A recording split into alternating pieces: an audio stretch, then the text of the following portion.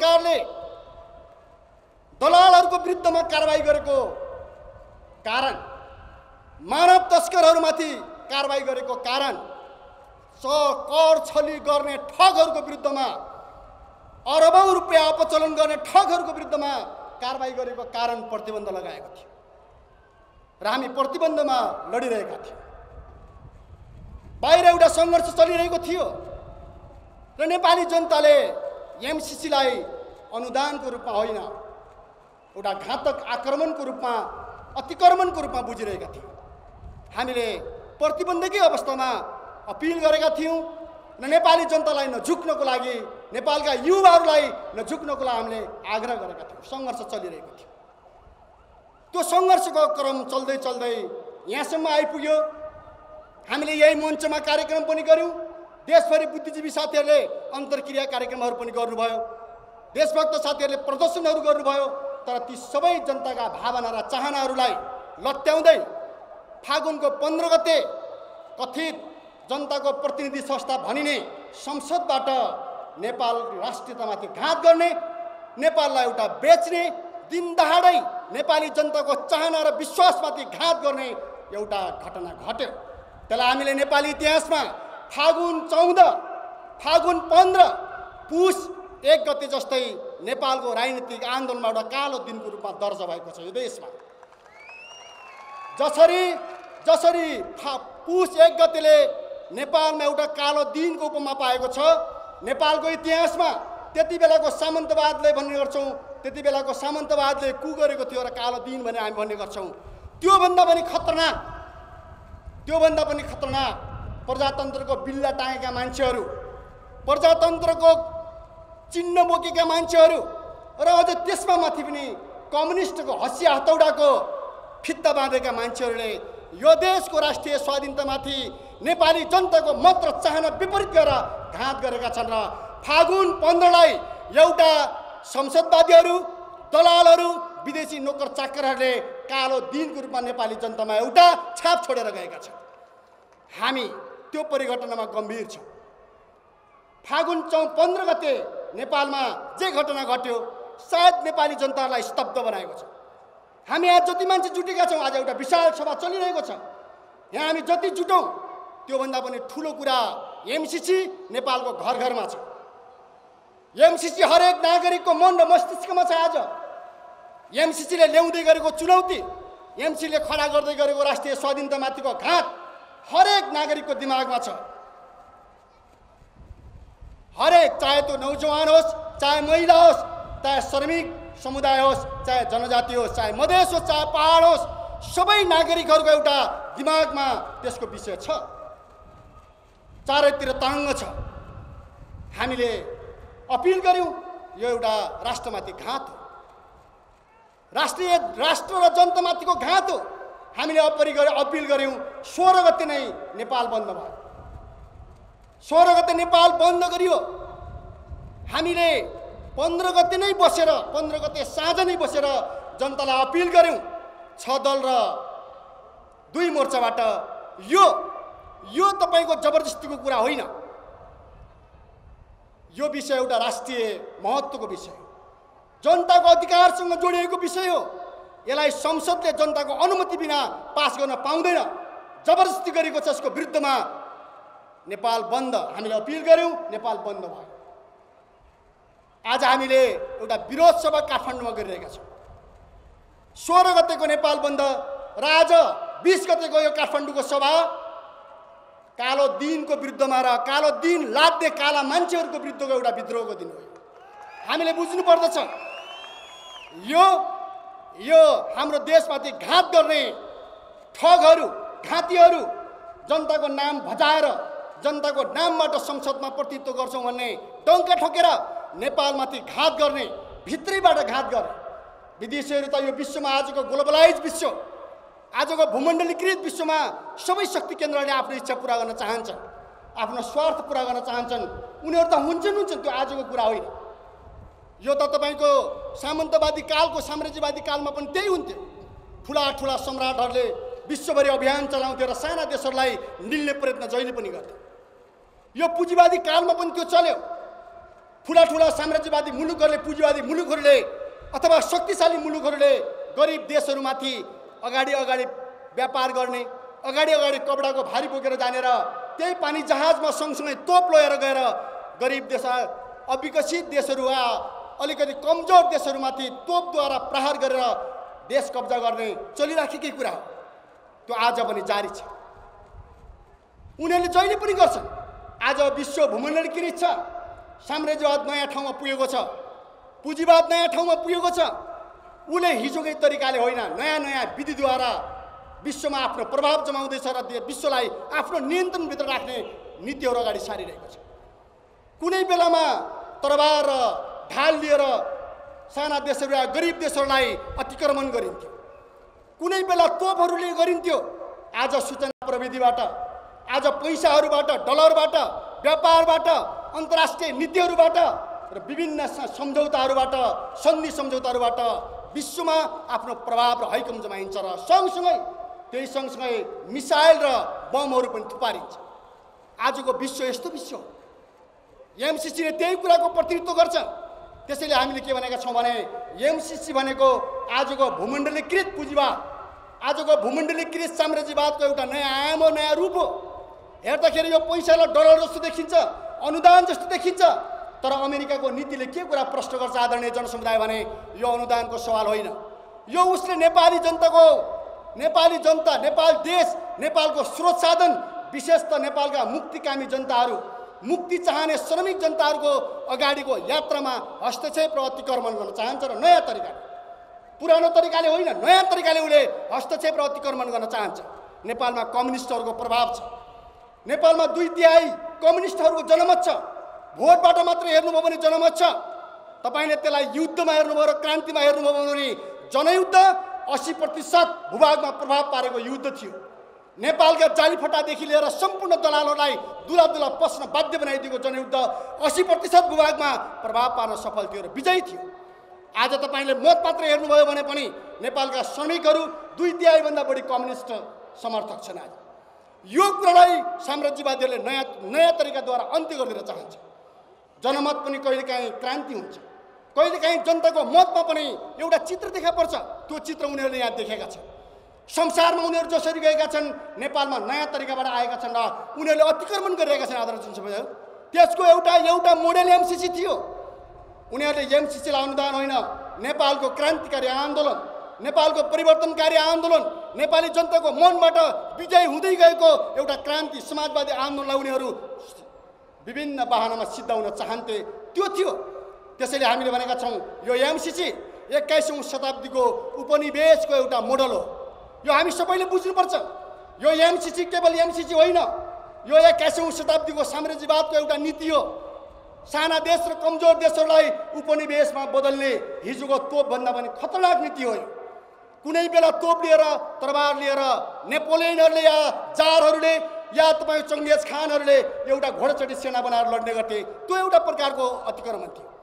आज त्यसपछि पुँजीवादमा बदलियो। अर्कै टाइपको भयो। आज एक्काइसौँ शताब्दीमा आउँदाखेरि त्यसका विविध रूपहरू छन् र त्यो रूपमध्येमा अमेरिकाले अगाडि सारेको यो अनुदान सहितको हस्तक्षेपकारी नीति उपनिवेशमा बदल्ने। साना देशहरूलाई कमजोर देशहरूलाई उपनिवेशमा आफ्नो नियन्त्रणको मुलुकमा बदल्ने एउटा योजना हो नीति हो।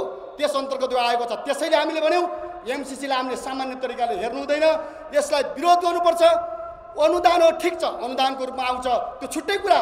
तर अनुदान अनुदानको बाहना बनाएर नेपालको क्रान्तिकारी आन्दोलनलाई सिद्धाउनको लागि नेपालको कम्युनिस्ट जनमतलाई सिद्धाउनको लागि रातो झन्डालाई समाप्त पार्ने सपना देख्दै या तपाईँको यो नेपालको स्रोत साधनलाई यहाँको प्राकृतिक स्रोत साधनलाई कब्जा गर्ने उद्देश्यबाट जसरी आएको छ यहाँको भूगोलमाथि अतिक्रमण गर्ने नियन्त्रण गर्ने जुन उद्देश्यबाट आएको छ यो एक्काइसौँ शताब्दीको साम्राज्यवादी प्रोजेक्ट हो यो एक्काइसौँ शताब्दीमा साना देशहरूलाई कब्जा गर्ने नीतिसँग जोडिएको प्रोजेक्ट हो। त्यसैले हामीले यसलाई विरोध गर्यौँ।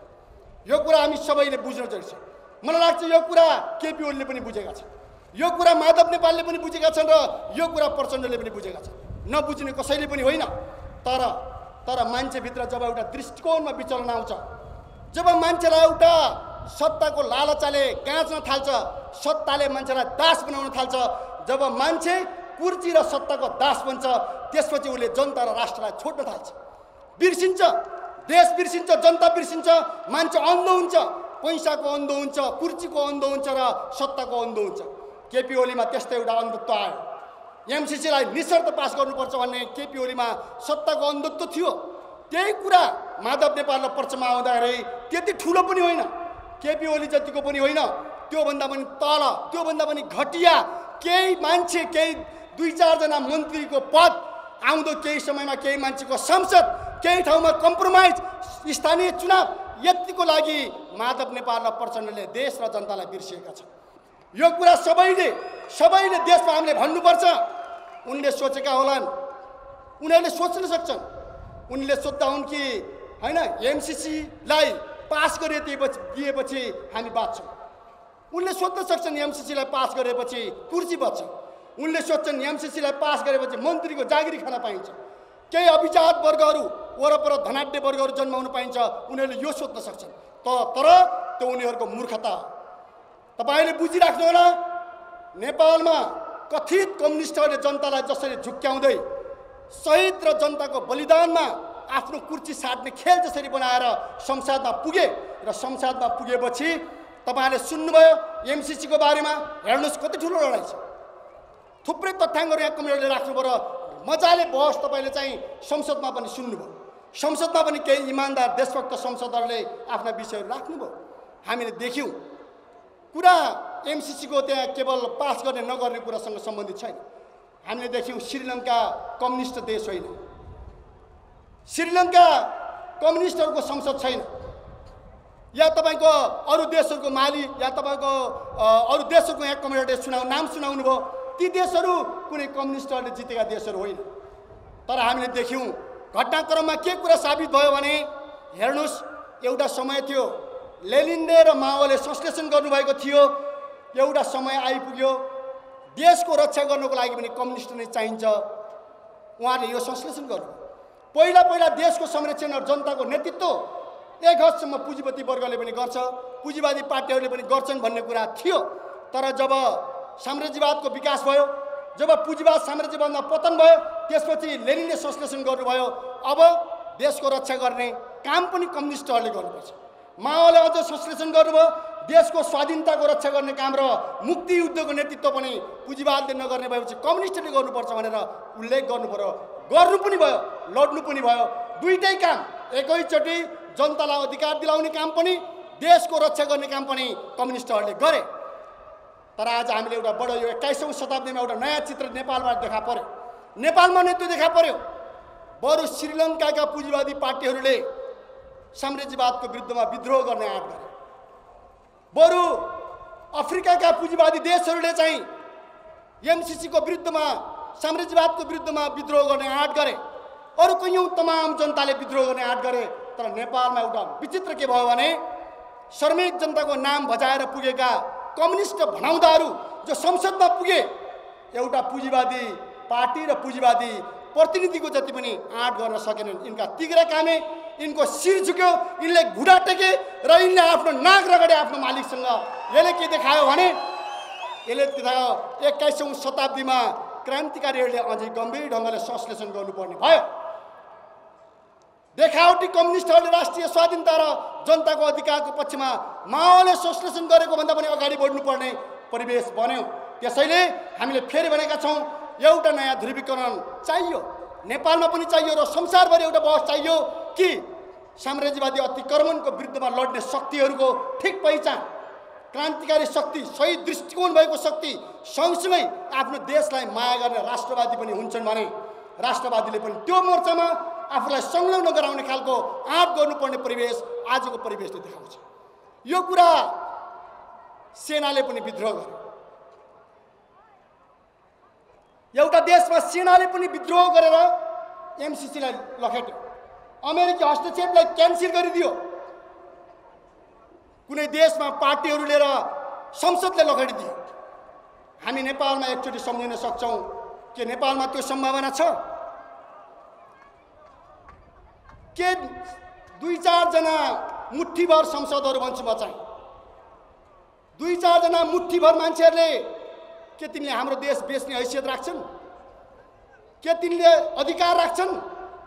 हाम्रो तिन करोड नेपाली जनताको भविष्यलाई प्रभावित पार्ने के तिनले त्यस्तो ठुलो निर्णय गर्ने हैसियत राख्छन्? के तिनको त्यो अधिकार छ? संसदमा पुगेका मुठीभर मान्छेहरूले नेपालको युगौँ युग प्रभावित हुने कुरा त्यति त्यहाँबाट तिनले गर्नु पाउँछन्? कदापि पाउँदैनन्। असम्भव छ। र हामी भन्छौँ हामी छ दल हाम्रो पार्टी हामी प्रतिबद्ध छौँ कि नेपालमा यो पार्टी रहँदासम्म नेपालमा यो मोर्चा रहँदासम्म नेपालका श्रमिक जनता रहँदासम्म नेपालका देशभक्त नागरिक रहँदासम्म तिनको सपना कहिल्यै पनि पुरा हुने छैन। पुरा गर्न दिइने छैन। किनकि हामीले भनेका छौँ उनीहरूले संसदलाई सार्वभौम भन्ने भनेका थिए। संसद भनेको सार्वभौमिक हो। संसदलाई जनताले सार्वभौमिक शक्तिको रूपमा आफ्नो शक्ति दिएको प्रतिनिधि संस्थाको रूपमा बुझ्ने पनि गर्छन्। त्यो एक हदसम्म सही कुरा पनि हो। तर संसदले कसको नेतृत्व गर्नुपर्छ? जनता सार्वभौमिक शक्ति भएपछि त्यो सार्वभौमिक शक्तिको नेतृत्व संसदले गर्नुपर्छ कि पर्दैन? संसदले जनताको प्रतिनिधित्व गर्न सक्ने आँट गर्नुपर्छ कि पर्दैन? त्यो थेक्न सक्नुपर्छ कि पर्दैन? नेपाली जनताले अहिले एमसिसीको विरोध गरिरहेका छ कम्युनिस्टहरूले मात्रै होइन। काङ्ग्रेसभित्र पनि एमसिसी राष्ट्रको हितमा छैन भन्ने मत जबरजस्त छ। गाउँ गाउँसम्म छ। हरेक पार्टीभित्र बहस छ मलाई लाग्छ नेपाली सेनामा पनि छ नेपाल प्रहरीमा पनि छ। हुनुपर्छ। नेपाल गुम्यो भने राजनीति कहाँ गर्ने नेपाल रहेपछि राजनीति गर्ने हो? नेपाल गुमेपछि राजनीति कहाँ गर्ने हो? कहाँ पार्टी राजनीति गर्ने हो? आज सिक्किमेली जनताको अगाडि त्यो चुनौती छैन?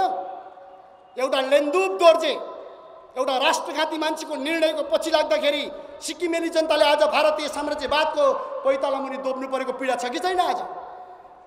त्यसैले नेपालमा हामीले के भन्नुपर्छ भने संसदले देशको प्रतिनिधित्व गर्छ भने ठिक कुरा संसदले राष्ट्रिय स्वाधीनताको पक्षमा काम गर्छ भने ठिक कुरा संसदहरूले देशको पक्षमा इमान्दारीपूर्वक काम गर्छन् भने सही कुरा तिनी सार्वभौमिक शक्तिको रूपमा पनि मानिन सक्छन्। जस्तो कि श्रीलङ्काले फर्काइदियो त्यस हदसम्म श्रीलङ्काको सांसद श्रीलङ्काले जनताको प्रतिनिधित्व गर्ने सार्वभौमिक शक्ति बन्यो। तर आज नेपालमा उल्टो छ। नेपालमा जनताले एमसिसी खारेजीको माग गरेका छन् राष्ट्रिय स्वाधीनताको माग गरेका छन् तर नेपालका संसदहरू त्यो पनि अल्प अल्पमतमा भएका संसदहरू थोरै सङ्ख्याका स्वल्पमतले देश बेचेर खान्छन् के त्यो सार्वभौमिक संसद हो। नेपाली जनताको सार्वभौमिक शक्तिलाई उल्टाएर दुरुपयोग गर्ने राष्ट्रघातमा अपराध गर्ने त्यो कसरी सार्वभौम हुन्छ? त्यसैले हामीले देख्यौँ यो संसदको औचित्य सिद्धिएको छ। यो संसद यो संसद सार्वभौमिक संसद होइन। यो संसद अमेरिकीहरूको भत्ता पचाउने कठपुतलीहरूको संसद हो त्यसैले त्यसैले आदरणीय जनसमुदायहरू नेपालको संसदले सार्वभौमिक शक्तिको हैसियत गुमाएको छ। त्योसँग त्यो अधिकार छैन। रहेन। नेपाली जनताले सार्वभौमिकता चाहन्थे यो संसदले बेचेर खाएको छ। नेपाली जनताले एमसिसीलाई फर्काउन चाहन्थे तर यो संसदले लाछाप लगाइदिएको छ। त्यसैले हामीले भन्छौँ कि नेपालको संसद साम्राज्यवादीहरूको कठपुतली संसदमा बदलिएको छ र नेपालका संसदहरू साम्राज्यवादीका भजन मण्डलहरूमा बदलिएका छन्। उनको गुणगान गाउने उनको तलुवा चाट्ने शक्तिको रूपमा उनीहरू बदलिएका छन्। त्यसैले त्यसैले यसले गरेको निर्णय सार्वभौमिक निर्णय हुन सक्दैन। कदापि हुन सक्दैन। हामीले शेरबहादुर देउबालाई एकचोटि स्मरण गराएका थियौँ। नेपाली काङ्ग्रेसको इतिहास नेपालमा कुनै बेला एउटा विद्रोही र क्रान्तिकारी शक्तिको रूपमा थापित थियो। तर जब यसले जिम्मा पायो नेपाली काङ्ग्रेसले यस्ता ठुला गल्तीहरू गर्दै आयो नेपाली जनताले काङ्ग्रेसलाई अहिले तपाईँ भोटको कुरा छोडिदिनुहोस्। नेपाली जनताले के बुझ्छन् भने नेपाली काङ्ग्रेस भनेको देश बेचेर खाने पार्टी राष्ट्रघाती पार्टी हो भनेर गाउँ गाउँमा बुझ्छिलाई एघार सालमा कोसी बेचेर खाने काङ्ग्रेस पन्ध्र सोह्र सालमा गण्डक बेचेर खाने काङ्ग्रेस महाकाली बेचेर खाने काङ्ग्रेस नेपालका सोह्रवटाभन्दा बढी राष्ट्रिय उद्योगहरूलाई दलाल पुँजीपतिहरूको खल्तीमा हालिदिने काङ्ग्रेस नेपाली जनताको नजरमा नजरमा एउटा दलाल एउटा राष्ट्रघाती पार्टीको रूपमा बदनाम छ र गिर्दै गएको छ। तिनका ठुला ठुला स्वर ती ठुला स्वर नेपाली जनताका स्वर होइन। ती ठुला स्वर संसदमा नेपाली काङ्ग्रेसका संसद बनिने मान्छेहरूले उठाएका ठुला स्वरहरू ती डलरबाट औराएका डकारहरू हुन् तिनको पछाडि कुनै पनि हैसियत छैन। ती नेपाली जनताका मतहरू होइन। त्यसैले आदरणीय जनसमुदायहरू काङ्ग्रेसले सुधारोस्। एउटा मौका पाएको छ। काङ्ग्रेसले यो एमसिसीको बारेमा जनताको मत अनुसार निर्णय गरेर यसलाई फिर्ता पठाओस् र देशको देशमा एकचोटि बिग्रिएको छविलाई सुधारोस् हाम्रो चाहना थियो। तर गाउँमा भन्छ नि के खान पल्केकोलाई कहिल्यै उपदेश लाग्दैन भनेको जस्तै। लागेन। नेपाली जनताले काङ्ग्रेसलाई अपिल गरे तर कङ्ग्रेस फर्किएर मालिकहरूको तलुवा चाट्न पुगेको छ र इतिहासमा नराम्रोसँग काङ्ग्रेस फेरि पनि राष्ट्रघाटी पार्टीको रूपमा बदनाम हुन पुगेको छ। काङ्ग्रेसका नेताहरूले आजकल खुब गर्व गरेर नाच्दै हिँडेको देख्छु म चाहिँ। काङ्ग्रेसी साथीहरू तपाईँहरू खुब्चिनु भयो तपाईँहरूले बुझ्नु भएन। तपाईँहरूको अग्रजहरूले गरेको बलिदानलाई तपाईँहरूले बुझ्नु भएन। राणा शासनको विरुद्धमा गरेको विद्रोहलाई तपाईँहरूले बुझ्नु भएन। राणा शासनको विद्रोह भनेको एक प्रकारले अङ्ग्रेजी उपनिवेशको विरुद्धको विद्रोह पनि थियो। यो कुरा काङ्ग्रेसले हेक्का राख्नु पर्थ्यो। राणा शासन र अङ्ग्रेज मिलेर नेपालमा दमन गरेका थिए। राणा शासनको विरुद्धको विद्रोह भनेको एक प्रकार राष्ट्रिय स्वाधीनता अङ्ग्रेजको उपनिवेशवादी नीतिको विरुद्धको एउटा विद्रोह पनि थियो तर काङ्ग्रेसले त्यो कुरा भुल्यो। जब काङ्ग्रेस पावरमा पुग्यो अङ्ग्रेज अङ्ग्रेजहरूको तलुवा चाटेर राणाहरू एक सय चार वर्ष टिके काङ्ग्रेसले भारत र अमेरिकाको तलुवा चाटेर अर्को सत्ता कब्जा गर्छ भन्ने सपना देख्यो। त्यो काङ्ग्रेसको दिवा सपना हो। त्यो कहिले पुरा हुँदैन थियो? भएन। नेपाली जनताले चिन्दै चिन्दै हरेक बेला काङ्ग्रेसलाई खुम्चाइदिएका छन् र अहिले पनि काङ्ग्रेस तेस्रो पार्टी हो। यदि तपाईँले चाहिँ हिजोको बोधबाट हेर्नुभयो भने प्रचण्ड र माधवलाई जोड्ने हो भने केपी ओली माधव र प्रचण्ड त्यसपछि मात्रै काङ्ग्रेसको पालो आउँछ। तर कम्युनिस्ट भनिने नवधनाढ्य पुँजीपति वर्ग कम्युनिस्टको नाममा खोल ओढेका अरबपतिहरू एक प्रकारले दलाल पुँजीपतिमा बदल बदलिँदै गएका मान्छेहरूले गर्दाखेरि काङ्ग्रेसले तेस्रो नम्बरमा भएर पनि यो देशलाई फेरि तपाईँको दाउ थाप्ने देशको भविष्यमाथि घात गर्ने एउटा अवसर पायो। यसको पछाडि केपी ओलीको पनि दोष यसको पछाडि सबैभन्दा पन्ध्र गतेको निर्णयमा हामीले भनेका छौँ कि केपी ओलीले कथित सं के अरे त्यहाँभित्रको संसद रोस्टम घेराउको नाममा पन्छिएर उनले राष्ट्रघातमा भाग लिए भने प्रचण्ड र माधव नेपालले शिर लतारेर नेपाली जनताको विरुद्धमा छाप लगाएर घात गरेका छन् र यो निर्णयमा कम्युनिस्ट सबै जनमतले देशभरि सुन्नुहोस् टेलिभिजन हेर्नुभएको छ भने तपाईँले बुझ्नुपर्छ। यो सभा सुन्नुभएको छ भने तपाईँले बुझ्नुपर्छ। यो पटकको एमसिसीमा राष्ट्रघात हुँदै गर्दाखेरि सबैभन्दा जनता स्तब्ध भएको छेन। सबैभन्दा जनता दुखित भएको छेन भनेको प्रचण्ड र माधव नेपालले अमेरिकी साम्राज्यवादको फोनको भरमा सही साफ गर्ने समय हो। यो कुरा सबले बुझ्नुपर्छ। जनताहरू स्तब्ध जस्तो भएका छन्। मलाई लाग्छ माओवादी केन्द्रभित्रका राष्ट्रवादी साथीहरू पनि स्तब्ध हुनुभएको छ। बोल्न गाह्रो भएको छ। त्यो दिन साँझको सामाजिक सञ्जालमा हामीले हेऱ्यौँ एक प्रकारले माओवादी केन्द्र छोड्नेको लहर थियो। चारैतिर निर्वाचन जितेका वार्ड अध्यक्ष समेतले पनि राजीनामा दिनुभयो। त्यो कुनै लहरको कुरा होइन। उहाँहरू भन्नुहुन्छ प्रचण्डजी के भन्नुहुन्छ? अहिले आएर मैले दुर्घटनाबाट बचाएँ। कस्तो दुर्घटना? यति ठुलो बैमानी दुर्घटना त एमसिसी पास गर्ने कुरा दुर्घटना देशलाई दुर्घटनामा पारेर दुर्घटनाबाट बचायो भन्ने जनतालाई कन्फ्युज गर्ने भ्रमित गर्ने वास्तविकतामा साँचो कुरा के हो आदरणीय जनसमुदाय भने शेरबहादुर देउबा प्रचण्डजी र माधवजीहरू मिलेर एउटा ठुलो दुर्घटना देशमा बनाउन खोज्नुभयो। ल्याउन खोज्नुभयो। त्यो दुर्घटनाले नेपालका तिन करोड जनताको भविष्यलाई लपेट्ने खतरा थियो र खतरामा पार्ने खतरा थियो। छ अहिले पनि तर हामी त्यो दिँदैनौँ।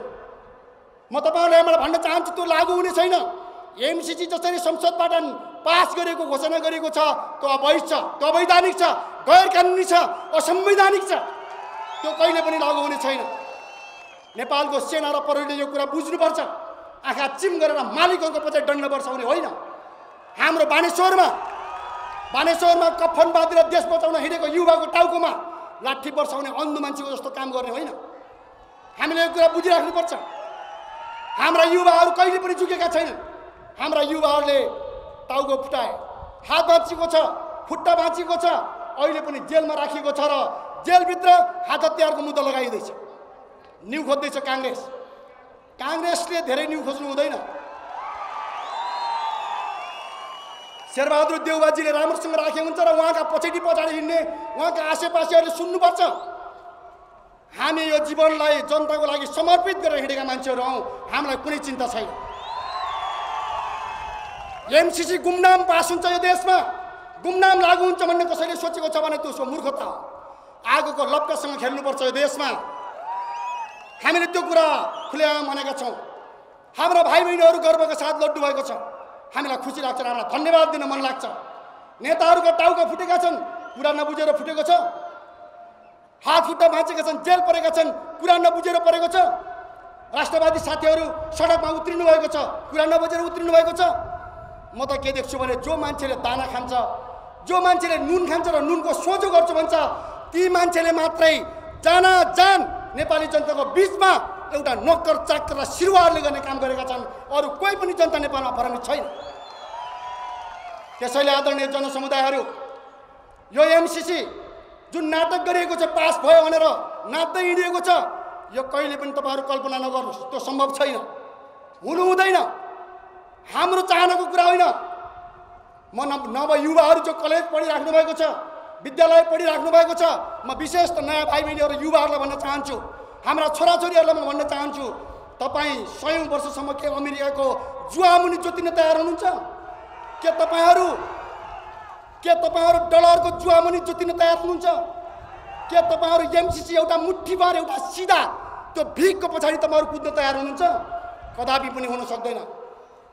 गलत गरेपछि जनताले धेरै दुःख पाउँछ। मान्छेले भन्छन् एमसिसी आयो भने तमास हुन्छ विकास हुन्छ कहाँ विकास यो पचास अरबले विकास हुन्छ बहत्तर अरब त एनसेलले मात्रै खाएको छ त्यहाँ लड न केपी ओली म भन्न चाहन्छु केपी ओली र प्रचण्ड तिमीहरूले हामीलाई प्रतिबन्ध लाउनु हुँदैन थियो एमसिसीबाट बहत्तर अरब झार्नु पर्थ्यो किन झारेनौ तिमीहरूले तिमीहरूलाई मिलेर खाएनौ बहत्तर अरब पैसा र तिमीले बाइस अरबमा मिलायौ बाइस अरब मिलाए बापत तिमीले कति कति पायौ? एकचोटि घनश्याम भूषालले भनेका सबले खाएका छन्। यो कुरा सत्य होइन। नेपालको एउटै कम्पनीले बहत्तर अरब रुपियाँ अपचलन गरेको छ अनि पचास अरबको लागि नेपाल बेच्नुपर्छ। नाक रगड्नुपर्छ अमेरिकाको अगाडि हामीले। कदापि पनि हुँदैन हाम्रा युवाहरूले यो कुरा बुझ्नुपर्छ। नेपालमा अहिले पनि बैसठी अरब राजस्वले कर उठाउन बाँकी छ। को त्यो कर तिर्न बाँकी रहेका मान्छे? यहीँका दलाल पुँजीपतिहरू होइनन्। नेपाली जनताको सम्पत्ति सोहोर्ने दलालहरू होइनन्। तिनीहरूबाट बैसठी अरब रुपियाँ तिमीहरू किन उठाउन सक्दैनौ? दलाल भनेपछि पिछा फेर्दै हिँड्नुपर्छ तिमीहरू। तिमीहरू लोभ लालचमा फस्नुपर्छ। अनि बैसठी अरब कर उठाउन नमानेर पचास अरबको लागि देशलाई बेच्न जाने तिमीहरू। त्यसकारण यो लागु हुँदैन। हामीले भनेको त्यो तर हेर्नुहोस् हामीले समयमा ध्यान दिएनौँ भने धेरै नै खतरनाक कुराहरू आउँछन्। अङ्ग्रेजसँग राणाहरूले गरेको सुगौली सन्धि के अरे त्यति बेलाको राज्यले गरेको सुगौली सन्धिको कारण चन्द्रशेखर उपाध्याय र गजराज मिश्रहरूले दरबारलाई छक्काएर गरेको सुगौली सन्धिको कारणले गर्दाखेरि नेपालमा एक सय चार वर्षसम्म सामन्तवादको जाने शासनको तरबार हामीले खेप्नु पर्यो। जाने शासनको हामीले चाहिँ उत्पीडन भोग्नु पर्यो। उन्नाइस सय पचासको सन्धिको कारणले गर्दा नेपालमा भीमदत्त पन्तहरू मारिए। यो कुरा त हामी सबैले बुझ्नुपर्छ। उन्नाइस सय पचासमा नेपालको काङ्ग्रेस त्यति बेलाको चाहिँ भारतको चाहिँ पार्टीहरू र यहाँको सरकारले गरेको गलत राष्ट्रघाती सम्झौताको कारणले गर्दाखेरि भीमदत्त पन्तहरूलाई भारतको सेना आएर मार्यो। मारिनु पर्यो। केआई सिंहलाई इन्डियाको सेना आएर समात्नु पर्यो। इन्डियाको सेनाले नेपालमा अहिले पनि त्यसको मौकाको फाइदा उठाएको छ।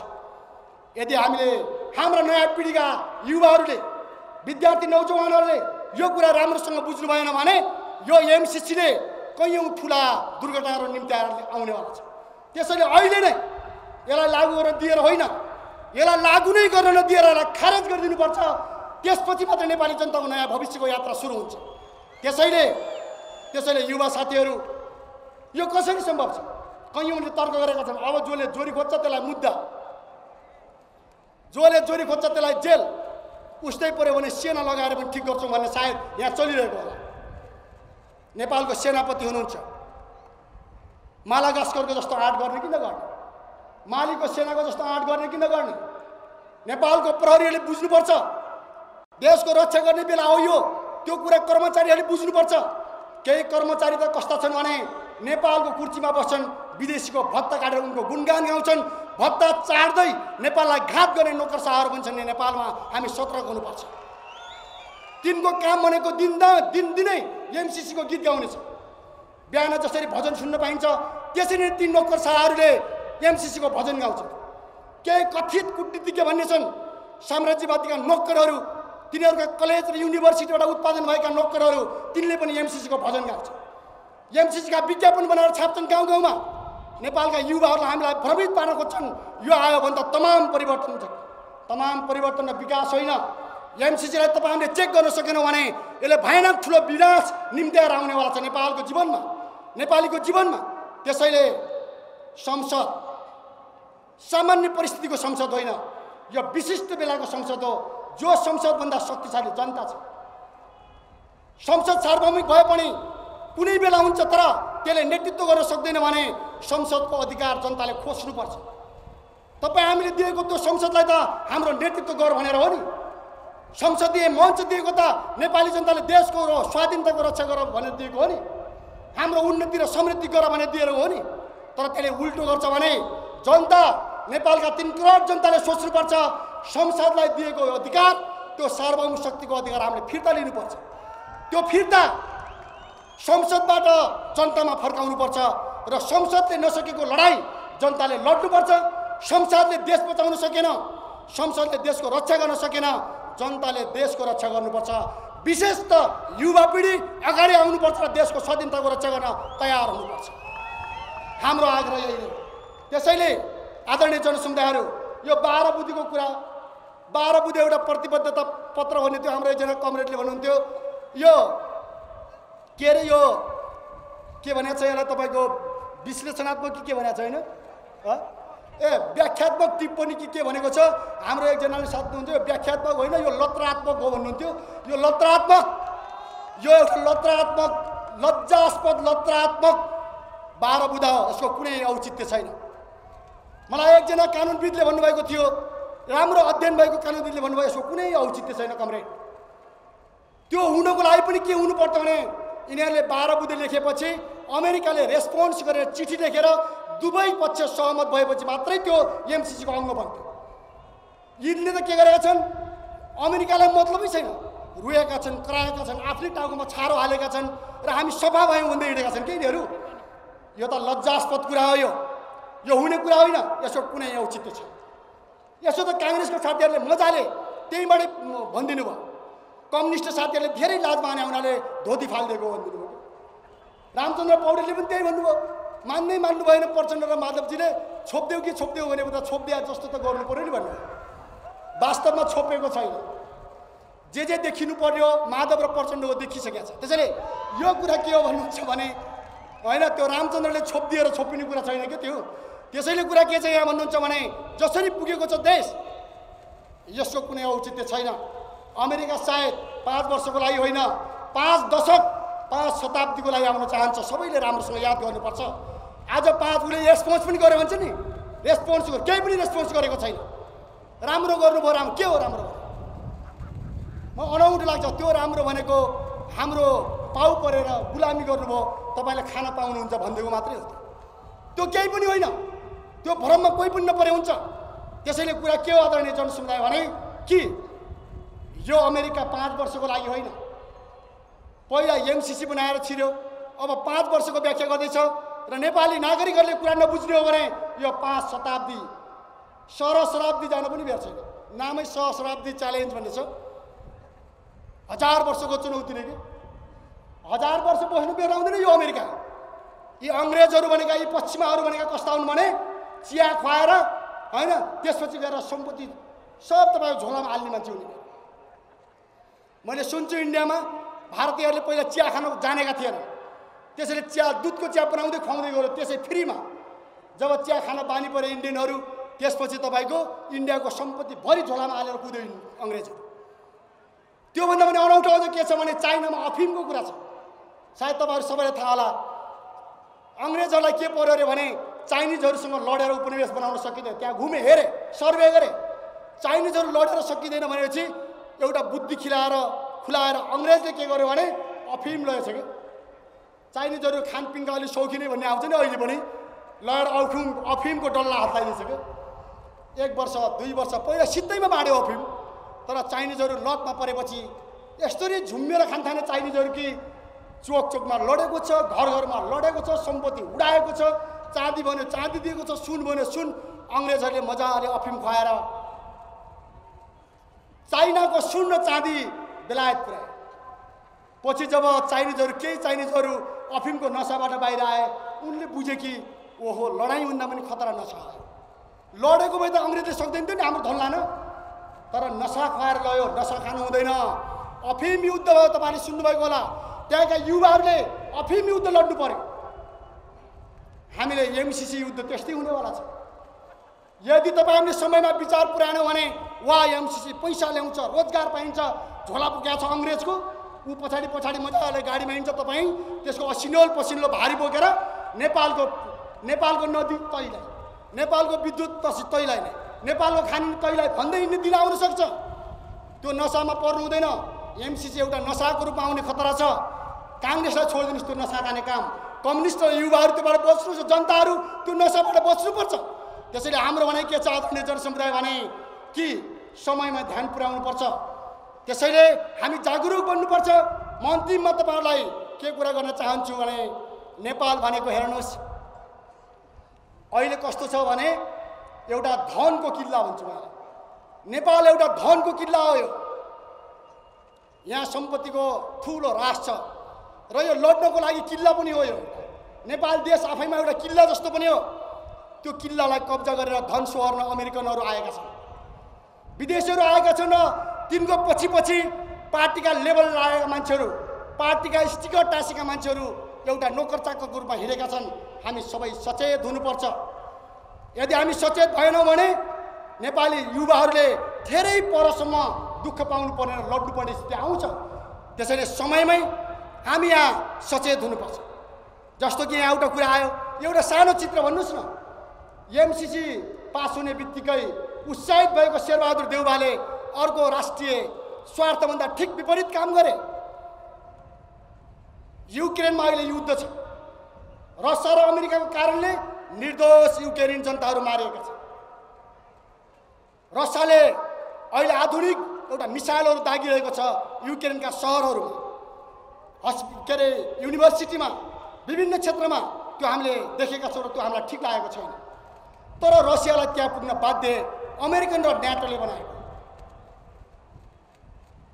पेल्दा पेल्दा पेल्दा घर छेउमै मिसाइल दाग्न थाले मिसाइल ढडाउन थालेपछि अरू नेपालका मान्छे भए पो नेपालका पार्टीहरू भएको छुट्टै कुरा त्यो रसिया पूर्व सोभियत सङ्घको त्यो जे भए पनि एउटा पूर्व सोभियत सङ्घको त्यो विशेषता जोडिएको गुण अलिकति हिङ नभए पनि हिङको टाढो भने जस्तो एउटा महाशक्तिको रङ भएको रस छ त्यसले भन पछ्यौट पछ्यौटभन्दा मात्रै बमबाड गरेको छ।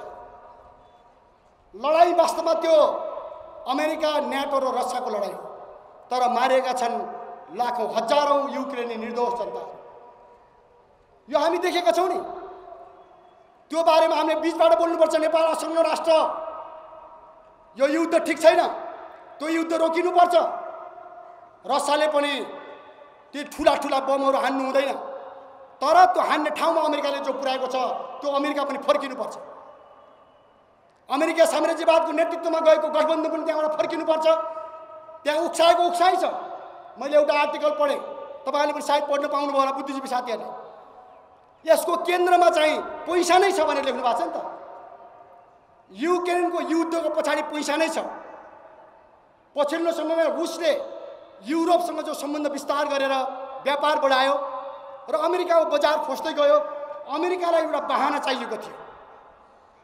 र त्यो बजार खोज्नुको लागि युक्रेनको मुद्दा सिर्जना गरिएको छ। युक्रेनलाई उचाले उचाले हामी दिन्छौँ लड लड भने युक्रेनको सरकार त्यो एक प्रकारले परनिर्भर सरकार। आफ्नो विवेकले सोध्न सकेन नेटोले उचालेको भरमा अमेरिकाले उचालेको भरमा लड्दै लड्दै जाँदा मुख परेको छ।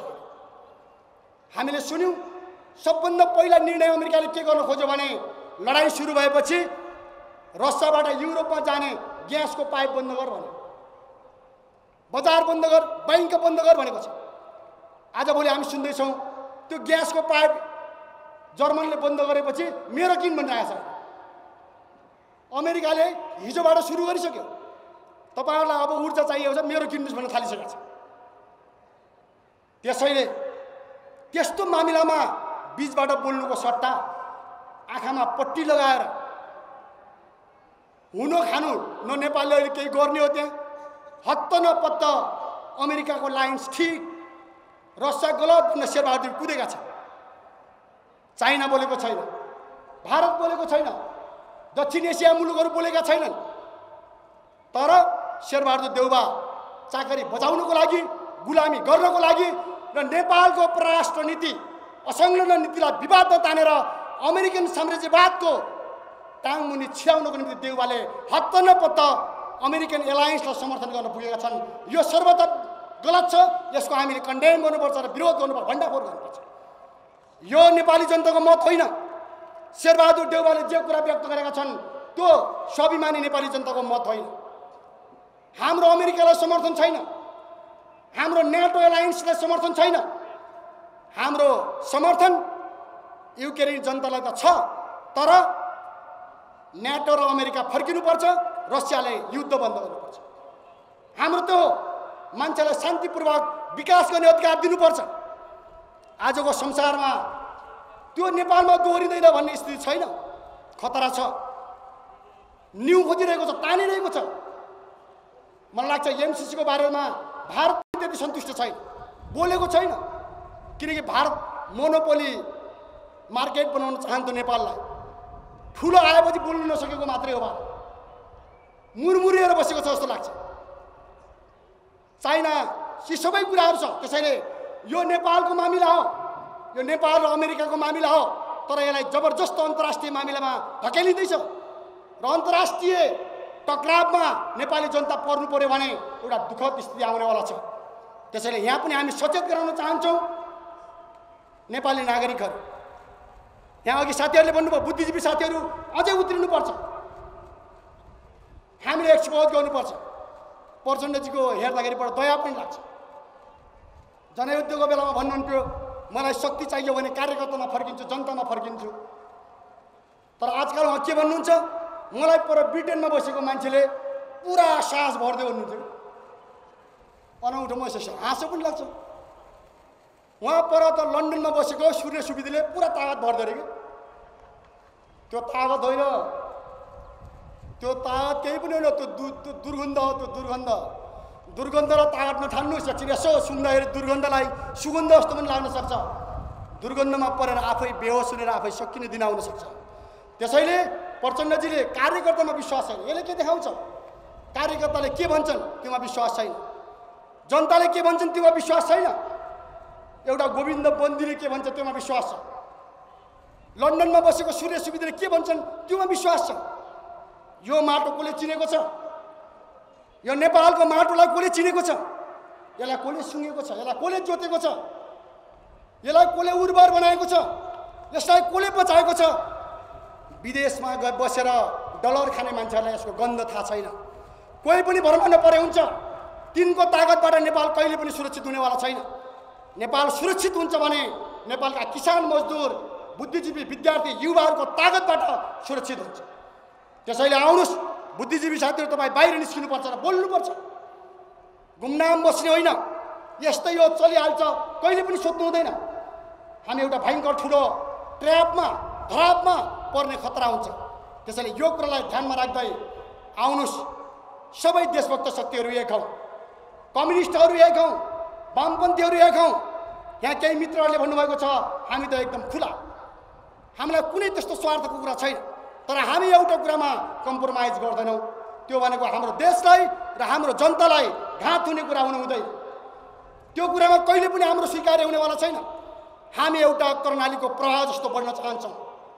हामी रानी पोखरी जस्तो जमेर होइन कर्णालीको प्रभाव जस्तो गटगटाएर नेपाली जनतालाई अगाडि बढाउन चाहन्छौँ।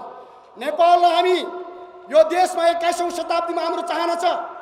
युवा साथीहरू तपाईँ तपाईँ विद्यार्थीको एउटा सर्टिफिकेट बनाएर केही पैसा कमाउने धुनमा विदेश जाने भूतमा विदेश जाने भूत पालेर बस्नु हुँदैन जुन दिनसम्म नेपालका युवाहरू आफ्नै खुट्टामा उभिने छैनन् त्यो दिनसम्म विदेशले जति करोड डलर दिए पनि त्यो पानीको फोका जस्तो फुटेर सिद्धिन्छ केही पनि अर्थ छैन।